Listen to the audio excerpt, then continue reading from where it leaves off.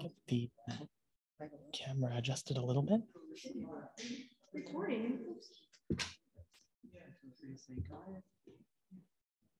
Loud. Sounds good. Oh, yes. I'll share the screen first. Just make sure it works. Okay, it's working. All right. Joe Moysiuk is a paleontology PhD candidate and Vanier Scholar at the University of Toronto Ecology and Evolutionary Biology and Royal Ontario Museum, supervised by Dr. Jean-Bernard Caron. Following many years of interest in Ontario's rich fossil record, Joe first joined the ROM Invertebrate Paleontology section in 2012 as a high school intern and subsequently earned his BSc at the U of T, departments of EEB and Earth Sciences. His research currently focuses on exceptionally preserved arthropod fossils, with field work taking him to a variety of sites across Ontario and British Columbia. And I believe the ROM is going to have an exhibit about this Uh, particular In fossil. fact, yeah, the exhibit's already there. You can already go and see it. So I'll show you some pictures at the end of the talk. Okay, thanks. So welcome. Thank you. Thanks so much for that intro- introduction. It's really a pleasure to be here talking to you tonight. Uh, I think this is probably going to be a little bit of a divergence from your usual content at these meetings and covering some subjects that are a little bit older than you're used to dealing with, but hopefully that'll be uh, an interesting little diversion. So today I have the pleasure of talking about some new and exciting fossil discoveries that have been made in Ontario, not so far from here. And this was work that was done uh, in my lab along with my supervisor, Jean Bernard, as well as uh, a lab mate of mine, Alejandro, uh, and an a amateur fossil collector from Ontario, uh, George Kampouris. So this is actually a little bit of a divergence from the sort of work that I typically do as well. So I actually do most of my PhD work on fossils from British Columbia from a very famous deposit called the Burgess Shale. A couple of pictures that I'm showing here from some field work that we just got back from uh, at the end of August this year. And this is a really special site because it gives us a unique window into a very important period of time in Earth's history that I'll explain a little bit later. Um, but these fossils are remarkably well preserved at this site and are world famous. And so the link between these fossils in British Columbia and the stuff that I'm going to be talking about from Ontario today is that they represent cases of exceptional fossil preservation. And so we call these sites this German term, Konservatlagerstätten. And so this basically means something along the lines of mother lode. And so these sites are special because we get things that we would never ordinarily expect to get in the fossil record. So I'm talking about things like uh, eyes and nervous systems and the guts of the animals that still contain their last meals, showing us this unparalleled insight into what these organisms were like in the deep, deep past. Uh, you need special and relatively uncommon conditions to get this sort of preservation, as opposed to things that we more typically think of in the fossil record, like bones and shells, which are relatively uh, difficult to decay, and they tend to stick around long enough that you can get preservation a little bit more easily. Share. Oops. So can we try that again? Just for the folks on Zoom. Yes. No worries. We only got to one slide anyway. Uh, how about now?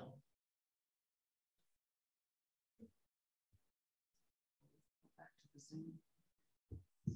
Did I not share? Maybe I didn't share. That's why. Ah, yes. Okay. My bad.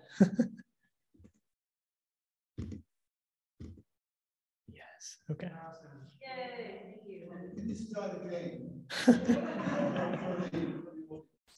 Sure. No problem.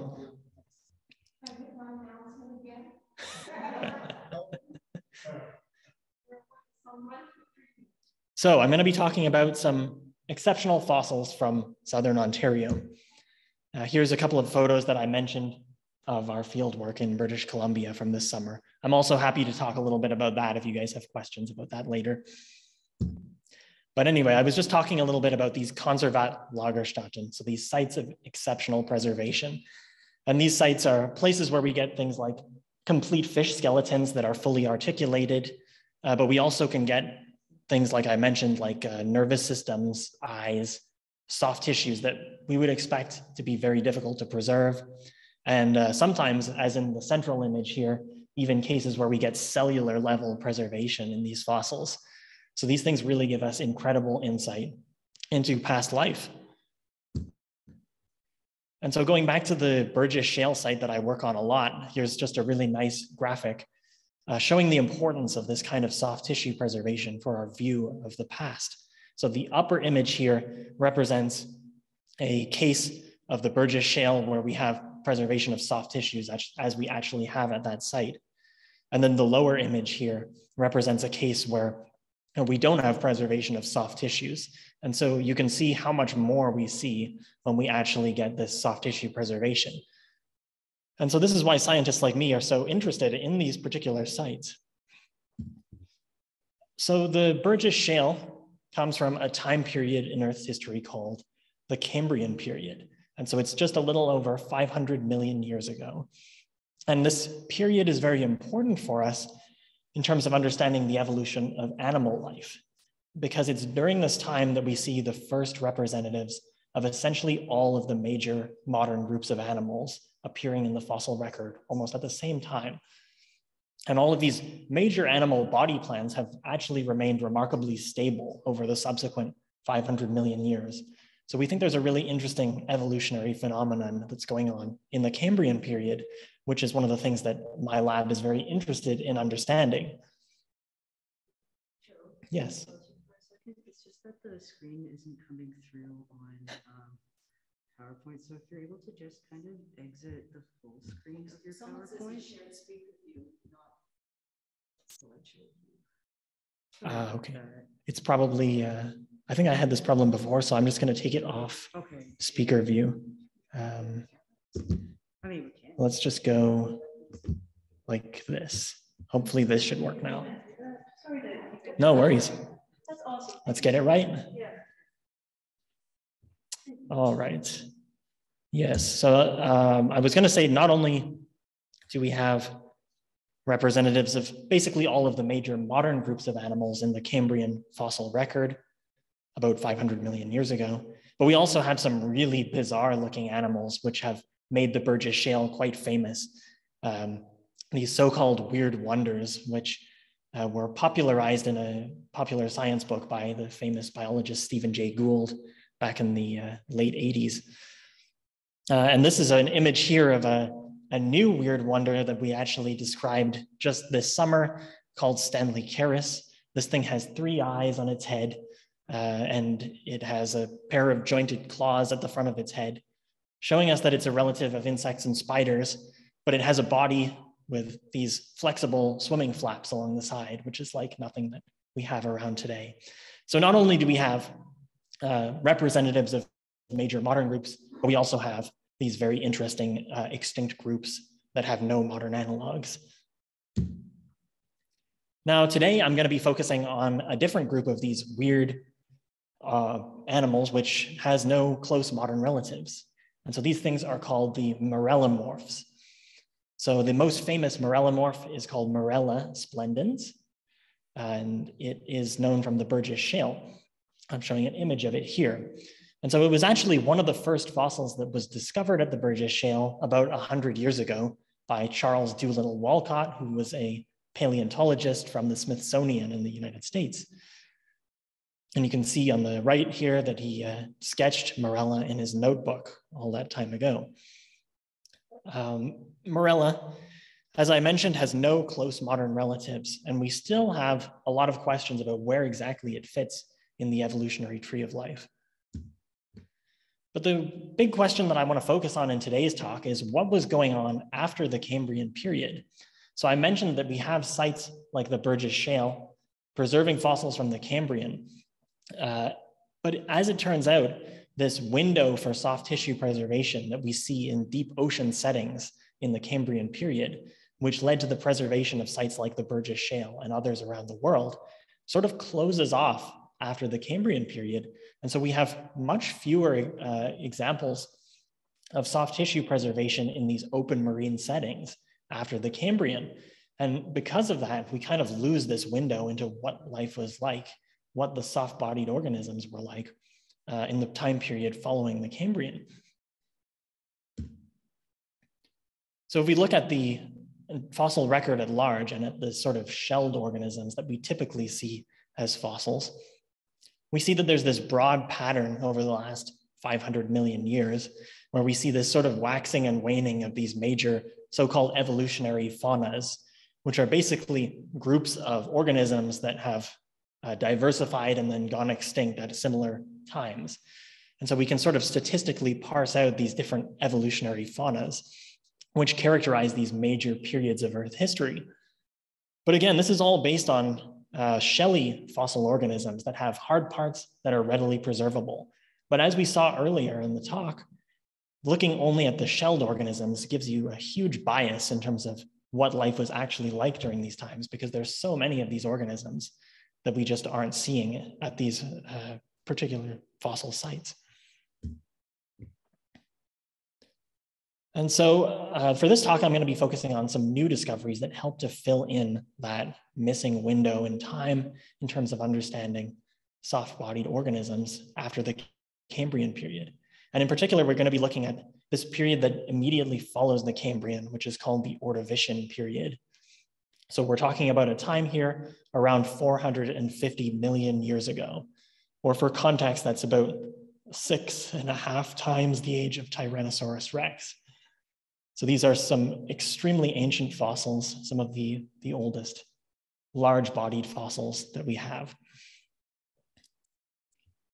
Uh, and of course, I'll be focusing on North America. So I just wanted to highlight that the world was a little bit different in the Ordovician period.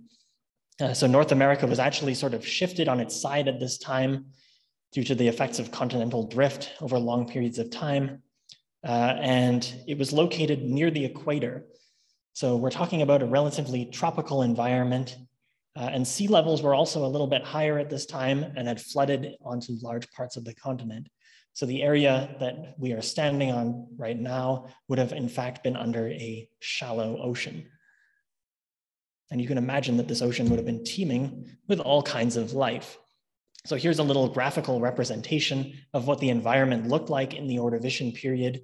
So we had these um, sort of uh, surface exposures of the Canadian shield, which formed a bit of an island uh, that was largely to the north of us. And then we had these expansive reefs extending way, way out from the continent.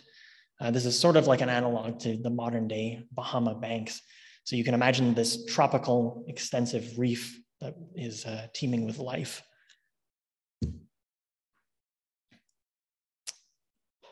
And so uh, again, just taking a little zoom out here to understand what things actually look like in the Ordovician.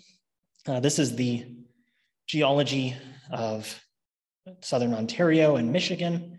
And you can see that there's a structure here called the Michigan Basin, which is very important for us in terms of understanding uh, the environment that was existing here 450 million years ago. So the Michigan Basin is basically like a bowl that formed in the middle of the continent and filled in with this shallow ocean. Uh, and gradually sediments filled up this bowl over time, layer by layer, uh, and gave rise to, for example, large reef-like structures which formed the Niagara Escarpment, which Guelph is situated on, uh, and other important structures that, that characterize the topography of Southern Ontario. So where we are is essentially right at the edge of this bowl. And here's a little zoom in again to show you uh, more closely the geology of Southern Ontario. And so the, the key feature here is that as we move from the blue stuff on the right into the green stuff on the left, we're getting into younger and younger sediments because we're going into the center of the bowl and we're kind of moving upwards because the sides of the bowl are sloping downwards into Michigan. And so in this talk, I'm going to be focusing in particular on the stuff that's highlighted here in blue, which is representing the Ordovician sediments in Ontario.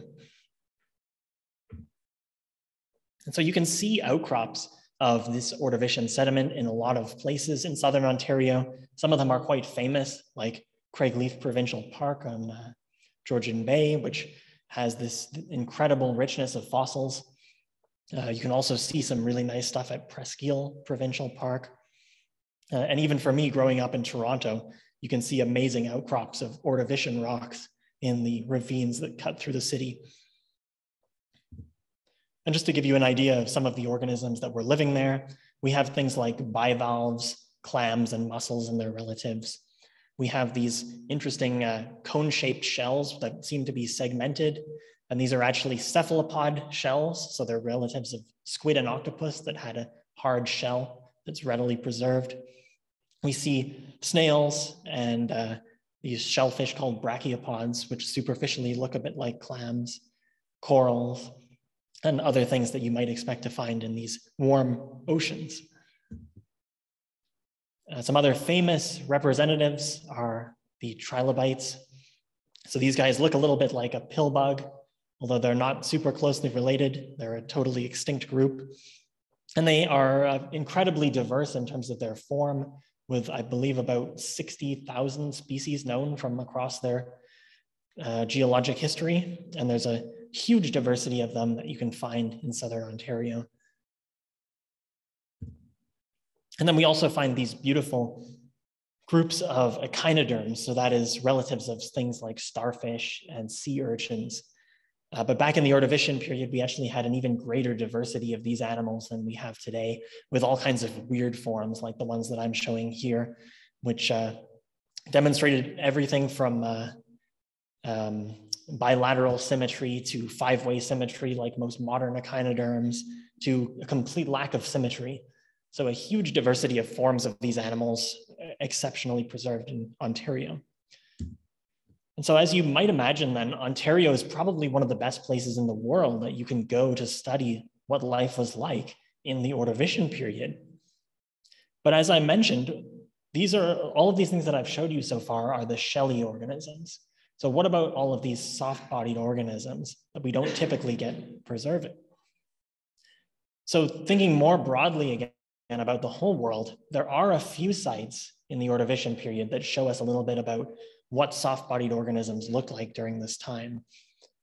Uh, there's a very famous one in Morocco in particular. And uh, interestingly, the, the soft-bodied organisms that we find in the Ordovician period remind us a little bit of stuff that we find in the Cambrian before it, and a little bit of stuff that we find in some of the subsequent periods. So we seem to be in this key transitional phase. And yet, as you can see, there's still relatively few of these sites around the world. And so far, not much really in North America.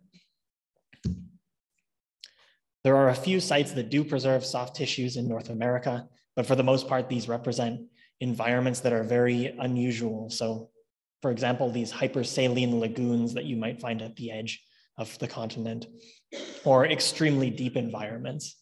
And so in all of these cases, we can question whether these environments are giving us a good representation of what the life was like in these diverse um, uh, communities of, of shelled organisms that we find in the more typical fossil deposits. And so this comes to the point of my talk today. Uh, so we were fortunate enough to get connected with a amateur fossil collector in Ontario named George Kampouris. And George has been collecting for many years in Ontario and uh, looking mainly for these shelly organisms that are so diverse here and beautifully well preserved. And uh, George secured the uh, ability to go fossil collecting in a particular quarry that's located a little bit east of Lake Simcoe. Uh, so they actually uh, sort of set aside a little platform in the corner of the quarry for him to do some digging and allowed him to systematically excavate the bedding planes at the top of this quarry. So this was a, a very um, unique and extensive uh, work that George was doing here uh, to give us a, a great idea of how the communities of organisms varied bed by bed. I'm showing an image of the quarry in the upper right here where when I visited there and they did some uh, blasting. So it's quite an active place and they were very kind to allow uh, the, the uh, science to go on there. So this particular quarry has already hit the headlines a little bit because it preserves this incredible record of shelled organisms. So we have these things called crinoids or sea lilies, which look a little bit like a flower, but they're actually more like a starfish on a stalk. These things are echinoderms. They're animals related to modern sea stars and uh, sea urchins. Uh, and we have this incredible diversity of these crinoids found at this particular quarry in Brechin, Ontario. And these crinoids are exceptionally well preserved because their bodies are made up of a bunch of little pieces which tend to break apart very readily after the organism dies. And so to get these crinoids in their fully articulated form like this, we knew that you needed special conditions. And so some very nice work was done by some colleagues of ours reconstructing the sort of environmental conditions that led to the preservation of these crinoids. And so as it turns out, you have the formation of this surface on the seafloor called a hard ground, which is essentially um, forming from the, the uh, seafloor turning to stone, um, being cemented by minerals shortly after it forms on the seafloor. And then uh, you have some currents that come through, sort of exhume the bottom surface and erode out these large cavities, creating this very rough surface. Uh, and this very rough surface at Brechin, as it turns out, was an ideal environment for all kinds of marine organisms in the Ordovician. So they loved growing around these large mounds that formed on the seafloor. And then over time, we had storm deposits that brought sediment from farther away and rapidly buried these encrusting organisms on the seafloor, preserving them in their positions of life. And so we think it's this rapid burial that was really key for the exceptional preservation of the things like crinoids and others. Uh, and this rapid burial happened repeatedly. So we have these multiple snapshots at the Brechin Quarry of uh, what life was like on the seafloor at that time. So I'm just showing an actual image of the rocks at the quarry here. And you can see one of these mounds, which is labeled M41 here, which is projecting up through some of the layers that have been deposited around and on top of it. And so it's around these mounds that we actually find the greatest diversity of marine organisms that were living there. However, while George was collecting some of these beautiful crinoids and trilobites and other shelled organisms, he also happened to notice that there were some unusual fossils mixed into the bunch. So he found some things that looked like branching algae, which are not usually mineralized. And so these things are unusual in the fossil record. He found some uh, fragments that looked like the carapaces of arthropods or relatives of uh, insects and crabs, uh, and a few other bits and pieces.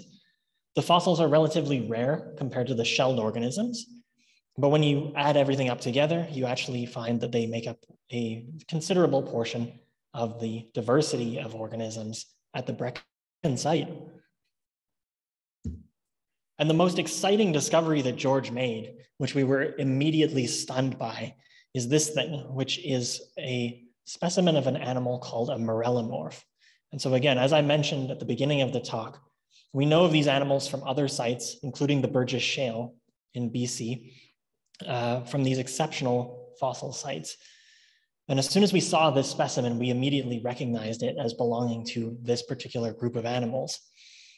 This is a really spectacular piece and completely unexpected in this location because we had no idea that soft tissue preservation was possible here. So we actually, the, the specimen is found in a piece of shale. And so when, the, when it was uh, discovered, it was split in half with different parts ending up on each side.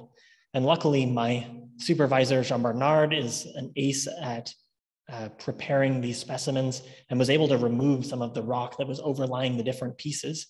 And so you can see the different parts on the part and the counterpart, the two halves of this specimen. And then thanks to Photoshop, I was able to digitally put back together the parts on the two halves of this fossil to get an idea of what the whole creature looked like. And so here it is with my color drawing on the right here. So I'll just go through a few features. So the structure in orange here is actually the head shield. So this thing has this sort of hexagonal central uh, head shield. And then we have these four very elongated spines that are curved like these long horns coming off from either side. Uh, and these things each have a series of small secondary spines that look like a bunch of fingers extending out from the edges. The other really remarkable feature about this animal is that it has this absolutely massive pair of legs, which I've colored in blue here.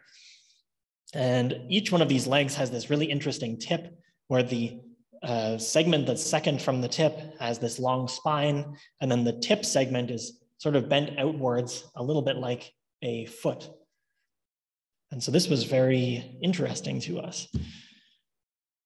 And then we found a few other uh, sets of appendages. So this one that I've highlighted in purple here, which belongs to the head. And then there's a series of appendages that I've highlighted in pink, which belong to the body of the animal. Uh, and we know from relatives of this animal from other sites that we're probably missing the very far back end of the body of this particular specimen. And so there probably would have been more sets of legs behind these pink ones. But other than that, this specimen is remarkably complete. And it gives us a lot of the really important characteristics that we need to understand this animal. And then finally, uh, the preservation of this specimen is actually really nice. When you zoom in on the legs, you can see these tiny pores which we think would have actually housed small sensory hairs that the animal might have been using to work its way around on the seafloor. And we did a little bit of elemental mapping at the University of Windsor uh, to figure out what the chemical composition of this fossil was. And the main finding was that uh, the fossil is primarily composed of carbon. And this is actually a feature that it shares in common with fossils from the Burgess Shale in British Columbia. So we think that something similar was going on in terms of preservation of this fossil uh, with its counterparts in the older sites in BC. And so finally, we were able to put together a reconstruction of the parts of this animal that we had. This was a nice drawing done by my lab mate, Alejandro Izquierdo Lopez. And we were able to commission a local student artist to do a really nice rendering of this animal in its environment in Brechin. And so you can imagine that this animal would have been crawling across the seafloor using these long stilt-like legs to sort of stilt its way along uh, and probably feeding on small particles and small organisms either in the mud or in the water column. And it would have shared its environment with this incredibly diverse fauna of uh, things like crinoids, trilobites, and a few of these uh, algae and other organisms that I mentioned. And uh, yeah, so I just wanted to mention this, this uh, particular marrellomorph, although it's known from a single specimen, is so exceptionally well preserved that we're quite sure that it represents a new genus and species of this animal. And so we actually named it Tomlinsonus dimitrii. Uh, the first name comes from the quarry that it was discovered in. And so we wanted to try and understand the context of Tomlinsonus. Where did it come from? What was it related to? Um, we immediately recognized it as a member of this very peculiar group of arthropods called the marrellomorphs, which includes all of the animals that I have pictured here, which have been found at sites spanning for tens of millions of years uh, across the globe.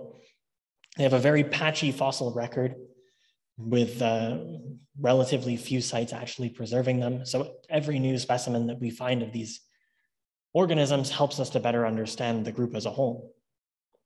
And so you can see that uh, some of these marrellomorphs, in particular the ones on the left, are characterized by these really peculiar head shields that have this smaller central portion and then these long horn-like spines. And so again, we were immediately able to tell that our new species must belong to this subgroup of the marrellomorphs, which we call the marrellid marrellomorphs.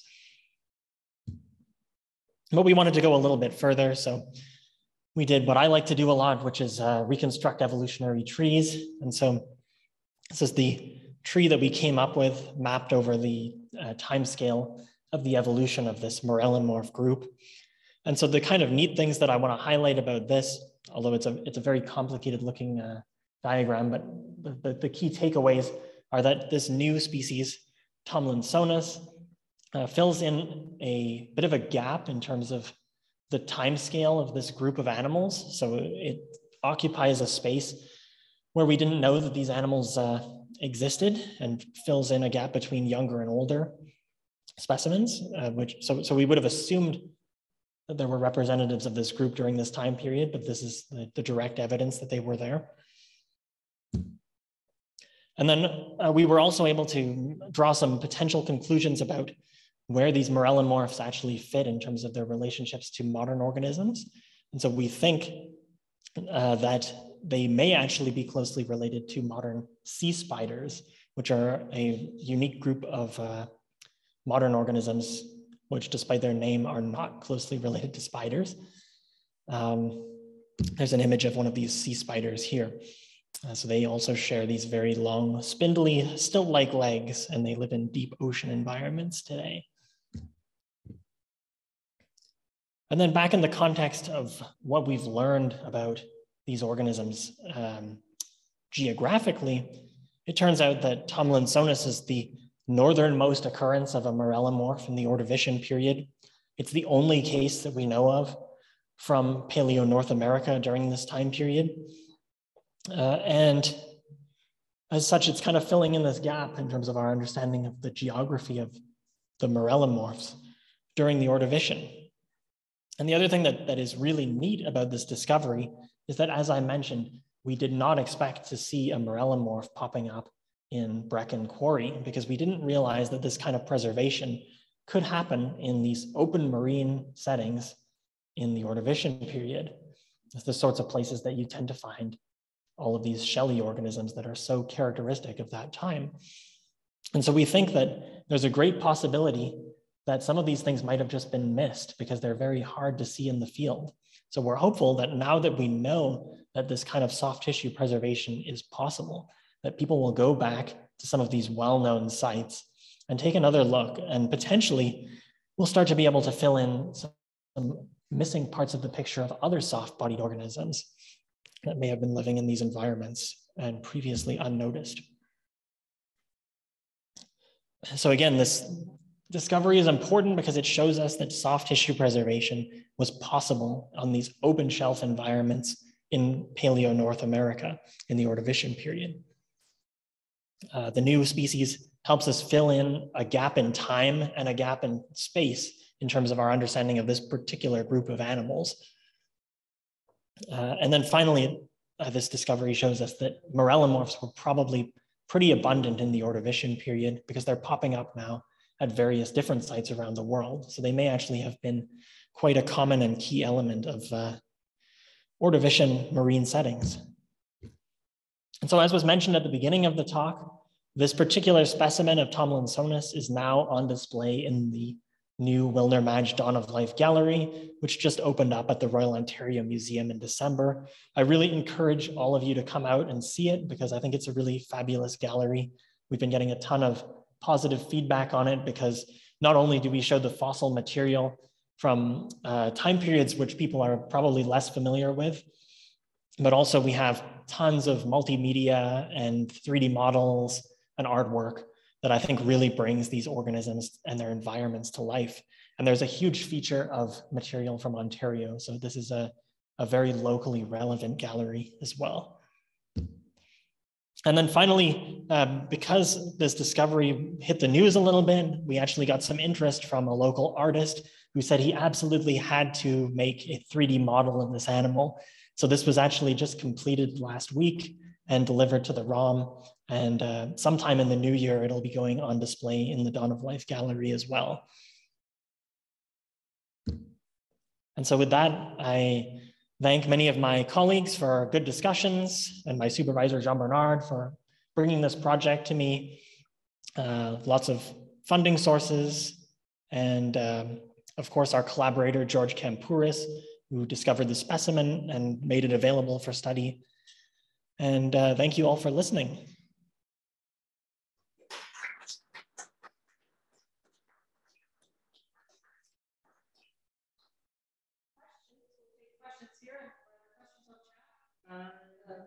I'll just, so those on, um.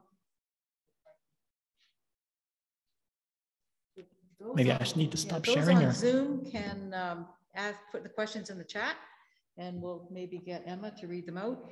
And then, uh, I'll let you, so. that you- Sounds good.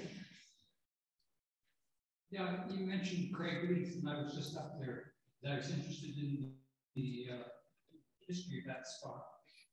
Can you tell me why there was oil there in the shale?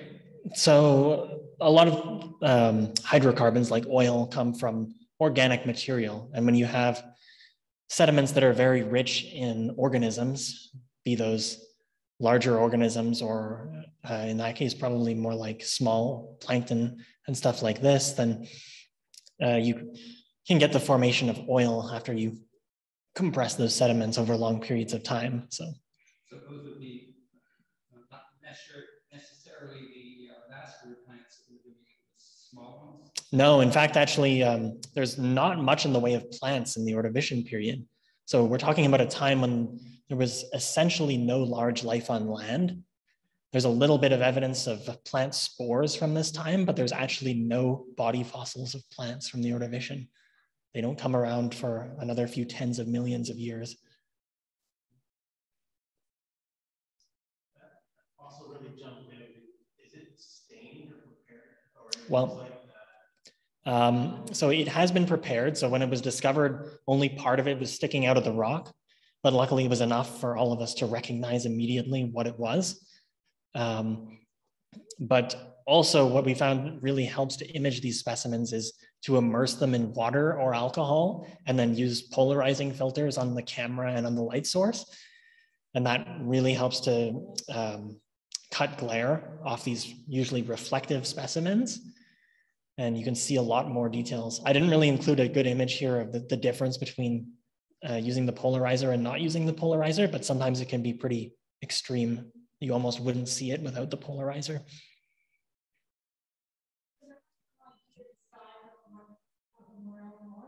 Yeah, so it's like maybe about 10 centimeters. So about uh, this size. I'm curious about the color rendition that you gave to the fossils. Is that an artist's license to do that? Because I don't know how to determine the color of those organisms, just the fossils themselves. That's a very colorful organism. It's a great question. Yeah. In this case, we let the artists have their license with the image. Oh, Most of the time with fossils, we don't know what color they were, but there are exceptions. And in fact, there's a specimen that I donated to the Dawn of Life Gallery. You can see it there of uh, one of these shelled cephalopods, and it actually has remains of the color banding uh, still intact on the shell. There are other cases that people are getting really excited about where you have preserved evidence of fossil color. Uh, and so there's more and more of these popping up all the time. So it, it is sometimes possible to reconstruct color in fossils, but not in this particular case. Uh, for the imaging? So you have um, a polarizing filter on the lens of the camera or the microscope, and then you have one on the light source. I mean, you turn them so that they're crossed with each other, then you only allow like one uh, polarization of light through.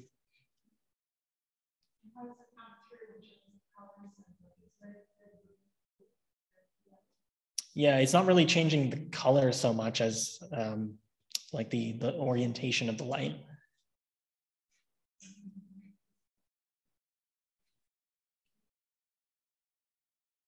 Sure. Did, um, did this, um, did it have eyes? I was looking for eyes, and I was looking for a.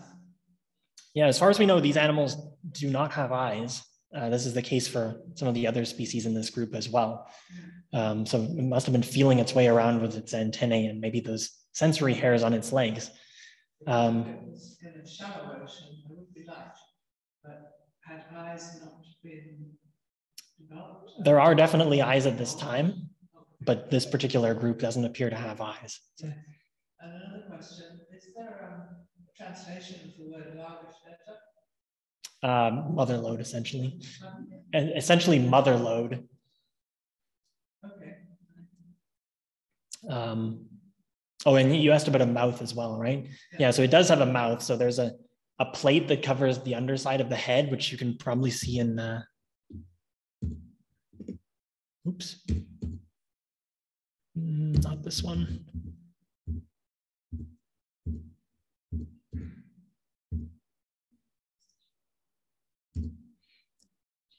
Yep. You can see um, there's a, a long structure that sort of is on the underside of the head of the animal here. Um, this is a plate that covers the mouth. And so underneath that mouth, or that, that plate is the- where the mouth is situated. Uh, yeah, in the back. I'm confused about the time period. If the Ordovician is the same as the Silurian,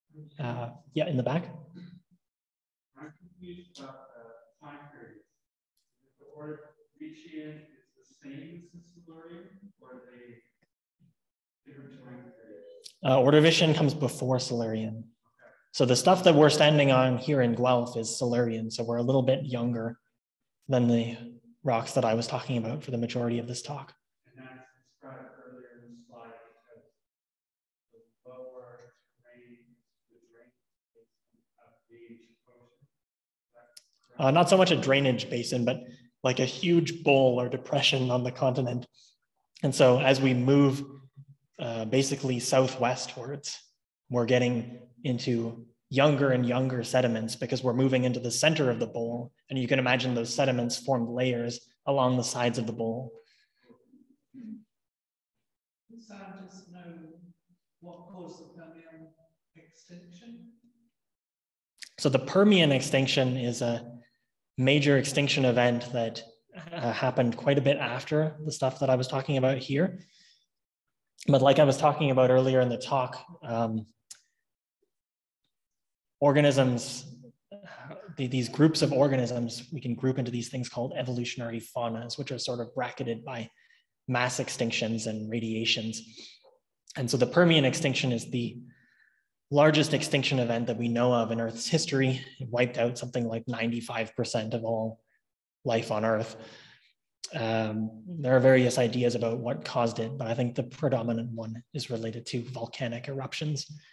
So you get lots of, uh, of um, greenhouse gases and, and other uh, gases that impact climate and acidify oceans and stuff like this. Uh, let's go over here. So It's a fascinating talk, thank you. In terms of the fossil there, can you, can you extract the whole fossil by pouring acid to remove the stone, or is there a way to get out of it? You said your advisor is very sort of adept at uh, pulling out fossils, but can you actually pull out the whole fossil? Sometimes it's possible. In this case, if we were gonna pour acid on this thing, I think we would end up with a bunch of little pieces, which would be impossible to put together. So that would not be recommended here. But uh, these particular fossils, like I mentioned, they're composed mainly of carbon. So they're basically a carbonaceous compression. And there are some people who are extracting some of these carbonaceous fossils by pouring hydrofluoric acid on them. Uh, usually they extract these tiny microfossils from the rock because those are um, easier to, to get out in one piece. Um, so sometimes it's possible. I don't particularly want to work with hydrofluoric acid if I can help it either, but these things can be, um, you know, fractions of a millimeter. You need a microscope to see them.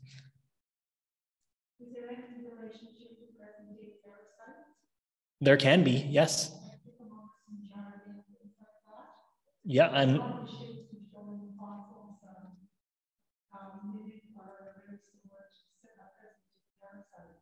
Yep, like I mentioned, uh, you can sometimes get even cellular level of preservation. So the sorts of things that can be extracted from these sites include tiny parasites.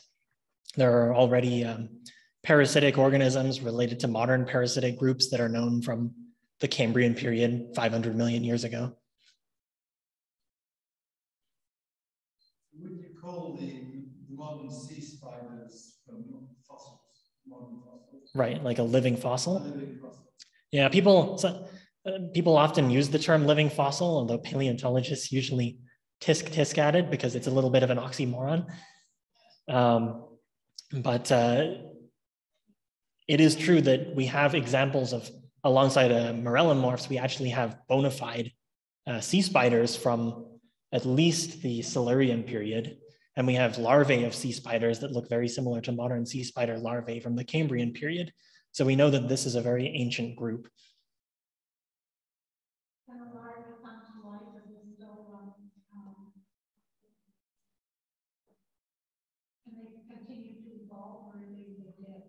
No, no. So these these are all um, long dead and fossilized. So their their compositions have been changed over time. Uh, in the case of these fossils that I was talking about today, you could imagine that you've cooked these things with, to uh, burn off essentially everything but the carbon.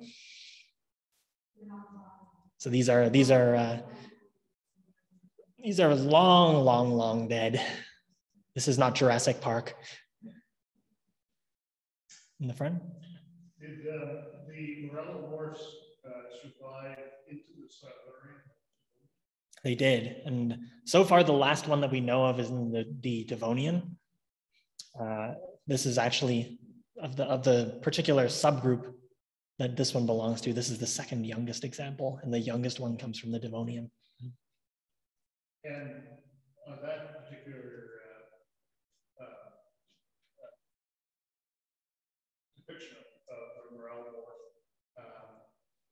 it, uh, it, where would the head be? So the whole orange thing here is the head shield. And then the pink parts are sort of the, the body, the legs from the body sticking backwards. So if I go back to uh, our reconstruction,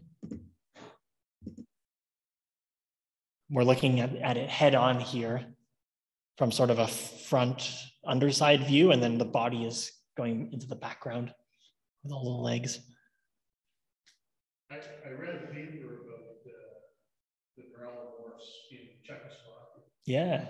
And um, mostly what the fossils depicted in the paper were just the uh, head, uh, mm -hmm. head, uh, like a head shield, yeah. Head shield, yeah. And uh, no details actually, what's underneath. Mm -hmm. um, uh, and this, you know, was amazing because it does show what was underneath the head shield. Uh, were there examples in the Burgess Shale that, that also did that? Like, did you sort of have a pretty good idea of uh, the underside would look like yeah. before you found this particular fossil? Yeah, so um, there's sort of different levels of soft tissue preservation.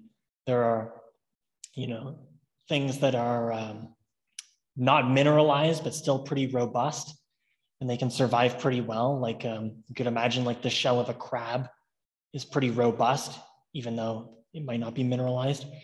Um, and then there are things like nervous systems and you know things like jellyfish that are super super soft. Um, and so sometimes you can get conditions that can preserve more robust soft tissues, but not um, not the super labile and, and soft ones. Um, so uh, um, the, the Czech examples that you were talking about, for example, the head shield is a bit more robust than some of the other parts of the body. So you get that preserving in that case. But at other sites like the Burgess Shale, we get the whole body with not only the legs from the trunk part of the body, but also like internal organs and all kinds of stuff even uh, examples of them freshly molting. So we know these things molted like a modern insect and shed their exoskeleton. And, uh, I think the uh, was the antenna, or passing was the antenna here. Uh, could you actually see it in the fossil? The antenna were not in this particular fossil, so we we inferred that they're probably there based on the relatives, but we don't know for sure. What can you say about the boreal and the relationships that you have with um, preserving those lands for research and excavation? I mean, is it a quid pro quo sort of like they're doing this really for science or for their reputation and what's the risk? Like we're surrounded by quarries right here. And um, and uh, I mean, are we losing valuable potential research sites since we're such a center or or are you able to isolate it more to just certain sorts of quarries and and then those owners banding together to offer it up. What, what do you say about that? Yeah, I mean, all quarries are, you know, destroying rock, and so some fossils will be destroyed. But we wouldn't be finding them at all if the quarries weren't there, because they're the only ones that are actually digging deeply these rocks. So this discovery would never have been made without the help of these quarry owners. And we're just lucky that in this case, they were um, so amenable to having George go in there and, and do some work. Uh, of course, it's you know a bit of a it can be a safety hazard for these quarries to allow random people that aren't employees in there. So it's very generous of them to do that, and uh, it's important to to um, uh, you know promote those kind of relationships because this is very important for science. Uh, you- the best preserved fossils usually found in shales or also of good fossil records can be found in other types of rocks? Perhaps there are very few shale deposits, extensive ones in Ontario, which may explain the toxicity of uh, fossil records. Yeah, these are in shales, but uh, exceptionally preserved fossils can be found in all different kinds of sedimentary rocks. Uh, usually you get different types of preservation. So this particular type of carbonaceous compression is something that you typically see in shales. So that much is true. There's definitely an impact of the environment and you know the resulting rock type that gets formed in that environment on the potential for preservation of soft tissues. Um, Did, uh, were, were you actually there when you found or when this uh, specimen was, was found? I wasn't there when this particular one was found, uh, but I did visit the site afterwards and do a little bit of digging there. Split of a rock. Uh, that was uh, George Kampouris who donated the specimen. How long ago did you find it? Uh, I think that was uh, two summers ago. He's actually been working at the site for, I believe, about five years. And this was sort of towards the end of his work there. So he'd actually, the, the, the quarry essentially set aside a platform for him to work where they weren't blasting. He's excavated all of the layers on that platform, and now the platform is basically played out. So that's it for this particular site for now, unless the quarry decides to do a bit more digging somewhere else. And is this a particular uh, uh, fossil uh, only known from so far one specimen? So far, one specimen, so far, only one site. But there's good potential that more will be found somewhere else now that we know the exact uh, layer that they're coming out from.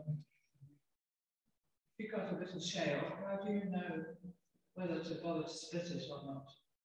Like I've been to um, Lyme Regis in Mhm. England and split the rocks and found uh. Um, but it's touch and go whether it will split in the right place and you know, how do you know there's something in there? or then not? It's a bit of skill and a bit of luck. Yeah. So first you want to uh, identify rocks that might be promising. So you want to look for the right layers where, for example, in this case, uh, layers that represent rapid burial horizons. So if you don't have rapid burial, you don't have much hope of finding soft-bodied fossils. Once you identify the beds that have been deposited through rapid burial by looking at the sedimentary structures, for example, then you know that you're in a place that might be worth looking. And then it's just a matter of luck. You have to split as much rock as you can and see what you can find. And then does, do the rocks split where the fossil is? Often they do because the fossils will form a bit of a weak plane in the rock itself. So when you split, it'll tend to pass through the fossil, which is exactly what happened in this case. If you're dealing with really small things, though, it doesn't always work out that nicely, which is when some of these approaches like dissolving the bulk samples of rock in acid can be helpful.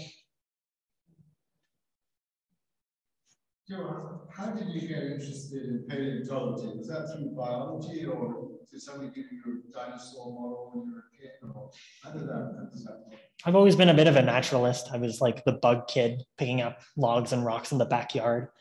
And uh, then I got into fossils by exploring some of the ravines around Toronto and finding some of the Ordovician age fossils there. And it, at the time, they had a series at the ROM called the uh, Fossil Gem and Mineral Identification Clinics.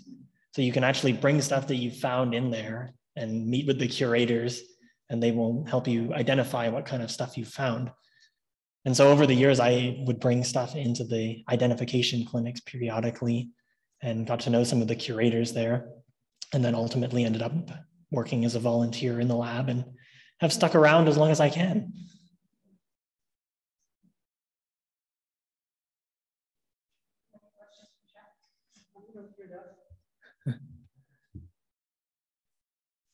Great questions, guys. Thanks a lot.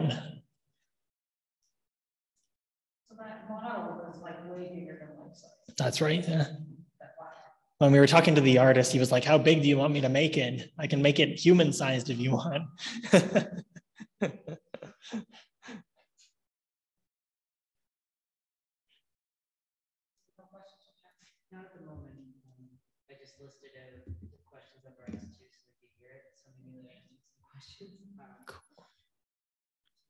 Sounds good. All right.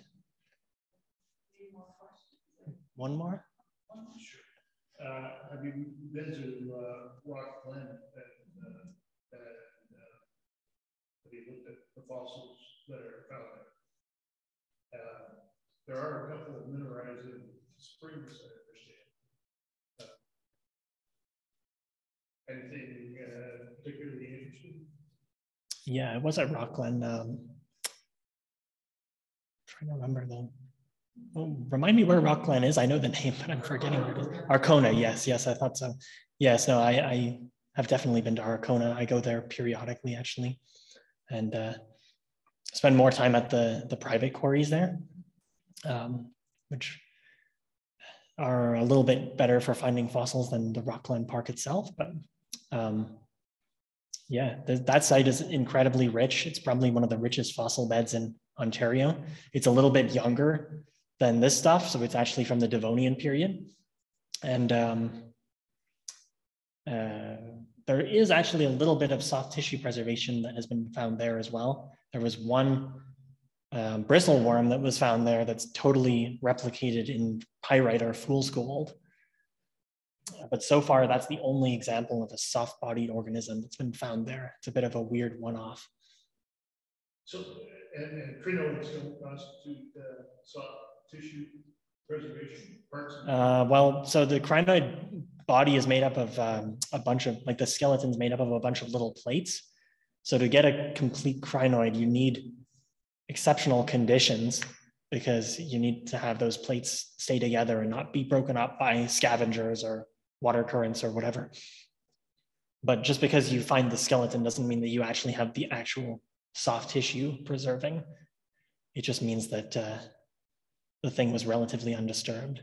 So that, again, it's sort of levels of exceptional preservation where sometimes you get articulated skeletons, sometimes you get articulated skeletons with some non-mineralized parts, and then sometimes you get the whole deal.